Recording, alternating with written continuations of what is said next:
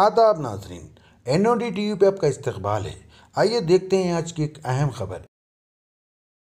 मोहतरम नकीब मिलत अलाज बैरिस्टर असदुद्दीन ओवैसी साहब सदर कुलिन मलिसतमुसलमिन और रुकन पार्लियामेंट पर।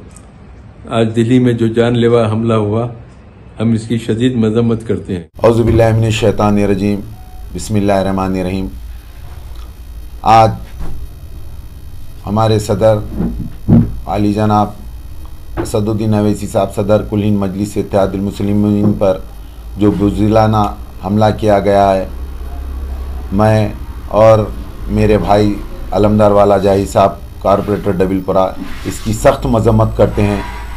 मैं आपको ये बताता चलूँ, इस तरीके हरकत आज से चंद साल पहले भी जनाब अकबरुद्दीन अवैसी साहब के ऊपर किया गया था, मगर उस वक्त हैदराबाद नहीं, पूरी दुनिया के लोग दुआओं के नतीजे में अकबरुद्दीन अवैसी साहब को, अकबरुद्दीन अवैसी साहब की सेहत याबी के लिए दुआएँ करें। 2011 की बात कर रहा हूँ। अल्हम्दुलिल्लाह, इस तरीके की बुजदिलानी हरकत से ना हमारे सदर साहब को पीछे हटने वाले हैं, ना अकबरुद्दीन अवैसी साहब हटने वाले। असद साहब जो हमारे सदर हैं, आपको अच्छी तरह से मालूम है कि अपना घर बार छोड़ के यूपी में इलेक्शन के लिए गए हैं, इंसानियत की खिदमत करने के लिए।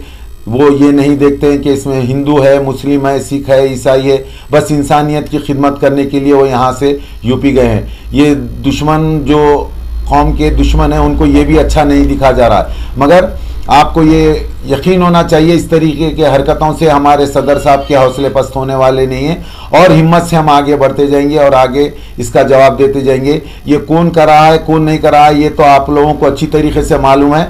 मगर मेरी आप तमाम हजरात से अदबन गुजारिश है कि इस तरीके की हरकतों का जवाब हम एक ही तरीके से दे सकते हैं। दो रकात नमाज़ हाजत पढ़ के अल्लाह की बारगाह में असदुद्दीन अवैसी साहब और अकबरुद्दीन अवैसी साहब की उम्र दराज के लिए दुआ करें।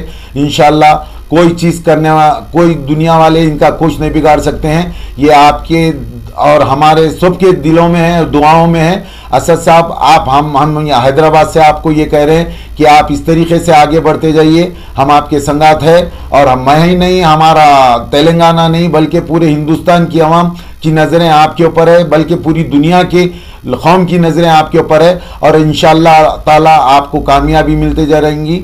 इसके ऊपर मैं एक अशार पे ख़त्म कर रहा हूँ। क्या मिटाएगा ज़माना हमको रोज़ हशर तक? क्या मिटाएगा ज़माना हमको रोज़ हशर तक? रसूल अल्लाह की मोहब्बत से हमारी ज़िंदगी आबाद है। बस आखिर दावा अलहमदिल्ला रबीआलम असलकम मैं doctor Samina, G H M C corporator, तालाब चमचलम ए आई एम आई एम। मैं आज जो हमारे बैरिस्टर असदुद्दीन अवैसी साहब के ऊपर जो हमला हुआ, उसके लिए कंडम करती हूँ और गवर्नमेंट से रिक्वेस्ट करती हूँ स्टेट गवर्नमेंट से यूपी गवर्नमेंट से और सेंट्रल गवर्नमेंट मोदी गवर्नमेंट से कि इसके लिए आप सख्त से सख्त कार्रवाई की आज जो भी बैरिस्टर असदुद्दीन अवैसी साहब का जो हमला हुआ, ये एक बार नहीं, कई बार हमला हुआ है, दिल्ली में हुआ है। तकरीबन जगह असद साहब के ऊपर ये जो सदर मोहतरम पे हमले हो रहे हैं। ये बुजदिलाना हमला है, ये जो भी है, पार्टी समझे जो बुजदिलाना हमला करती है, हम इसके लिए सब मरम्मत करते हैं और जो सब एहतजाज करते में शैतान रजीम बसमीम आज हमारे जनाब बैरिस्टर असदुद्दीन अवीसी साहब पर जो हमला किया गया है, ये बुजदिलाना हमला और शिखिस की खौफ से खा के ये जो हमला किया गया है मैं एज ए हम लोग तमाम हैदराबाद के बल्कि तमाम शहरियाँ पूरे यहाँ से एहतजाज कर रहे हैं सख्त से सख्त मजम्मत कर रहे हैं। और बेखसूस मैं दिल्लीपुरा कॉपरेटर के हैसियत से मैं बोल रहा हूँ। और ये यूपी हुकूमत और सेंट्रल गवर्नमेंट और अदालत से हमारी अपील है। बसमिल्लाम आज जो जनाब अलहाज बारिसुद्दीन अवैसी साहब के ऊपर जो जानलेवा हमला हुआ है, हम उसकी सख्त मजम्मत करते हैं। असलम वरहमल वरक मैं नुमाइंदा कॉरपोरेटर शफात अली।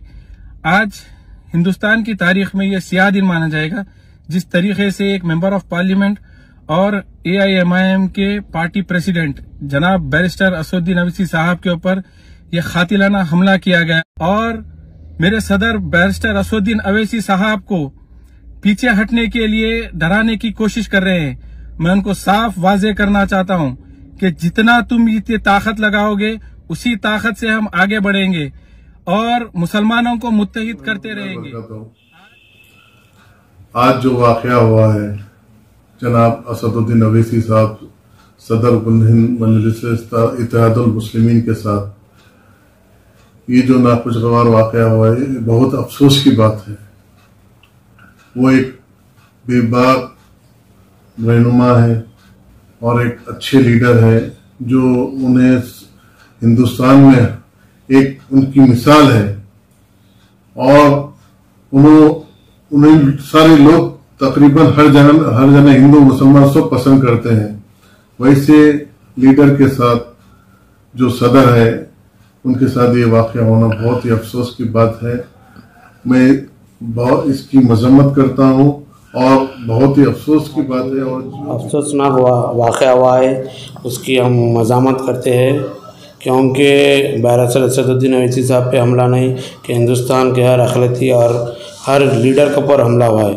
जिस तरीके से बरकत हमारे मजलिस इतिहादुलमसलिमिन के सदर नकीब मिलत बैरस्टर असदुद्दीन अवैसी साहब की कार पर जो बुजिलाना हमला हुआ है, वो काफ़ी शर्मनाक हादसा है।